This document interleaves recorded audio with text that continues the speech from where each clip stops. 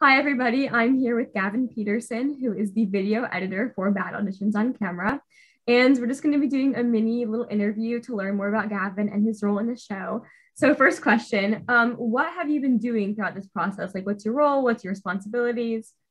All that good stuff. Uh, so yeah, I'm the the video editor, which means I put all of the scenes that the actors do together. Uh, I make them flow nice. Uh, cut out all of the the, the bloopers and such. Um, uh, I also work with them directly uh, in when they're actually recording, uh, making sure like all their equipment is set up correctly. They have good lighting, good composition. Um, it's very hard to work around people's spaces, but uh, you know we we we get it done, and uh, it's been very fun and very challenging to do. Is this your first time doing um, a video editing like this? You know, in this kind of virtual play format. Oh uh, no, this is definitely a first. Um, I've done a, a, little bit of video editing, but nothing to this scale and to this um, challenge. You know. um, has the hardest part you said been people's faces? Um, what do you think has helped you overcome that? Like, what's your go-to line when somebody's space is not right? How do you help them and lead them and guide them into the right space? Uh, well, there are a few go-to things. Um, obviously, lighting is one of the most important things people can have. Uh, my lighting right now is not very good. I've got this one big light here, and then the rest of my face is in shadow. So generally, you'd want to like either move the light or move the actor so that the light gets on their entire face. Um, so yeah, that, that's kind of the biggest problem is that most people don't have professional lights in their homes. so, but we we we do what we can, you know. Yeah. Um, and throughout the filming process, I noticed that you did a lot of continuity work with, you know, making sure that people's stuff was placed the same way in the same scenes. Um, how was that? Did you have to go through every scene individually and look at the endings and then find um, what people had and then make sure they had it placed in the right space the next time? Uh, well, actually, we worked directly with um, the few people that stay consistent throughout scenes uh, to make sure that their spaces, uh, that they were comfortable with the spaces uh, to stay the same throughout the the multiple weeks of recording.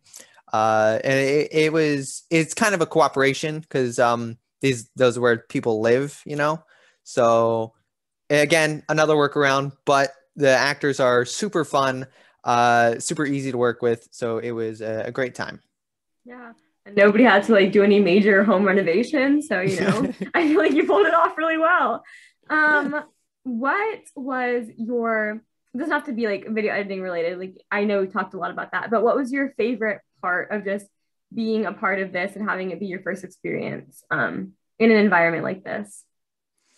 Uh, well, working with the actors and also like the jokes behind the camera. So people will see the the official play, but uh, you know, between each scenes and uh, we have an invisible chat that the that actors could uh, congratulate or encourage others, and it was really fun to see that.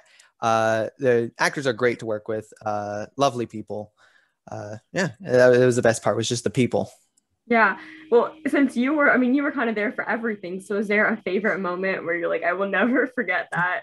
Um, uh, yes, there, there's, um, one of our actors, uh, we had a consistency. Uh, we had to keep consistent, uh, with his hand placement. Cause at the end of one of his scenes, he had his hand up like this and we had to redo that scene four or five times. And every time he would try and change hands or change shoulders, and it's just other shoulder, other hand, nope, other way, and it, it was it was hilarious, and it's great.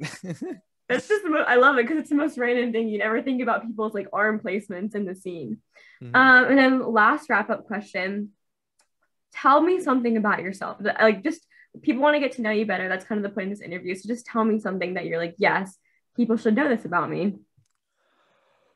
Uh, well, I I I like to think of myself as a very uh, a fun person. Um, and uh, I don't know. I wasn't prepared to talk about myself. Um, mostly uh, I, I, think i get along with people really well um, and you know if you see me in the hallway uh, say hi I, I love meeting new people so you're gonna have so many people just walk up to you and be like hey gavin what's up hey like, i don't know who you are but that's pretty cool yeah no no it'll be great i love people it's great that's awesome well thank you so much um for doing this. Uh, it will be on the Instagram in the next coming days. So everybody, um, this is becoming a regular series. So be on the lookout. And if anybody wants to add in the comments suggestions on who they'd like to be interviewed, we have a large cast and crew, all full of amazing, talented people, just like Gavin.